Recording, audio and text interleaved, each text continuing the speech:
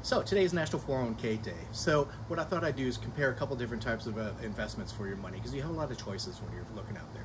So 401k is one, you know, one investment type and it's got a lot of advantages. And really the biggest one is going to be the tax advantage that you're investing that money pre-tax. Another one is that uh, you may be able to leverage some money that your employer is contributing to it. The downside of a 401k is the liquidity of it. Um, if you need to withdraw that money before you're about age 59 or 60, you're going to pay a pretty steep penalty. So let's take a look at real estate. Real estate is different in that there is no tax consequence until you sell the property.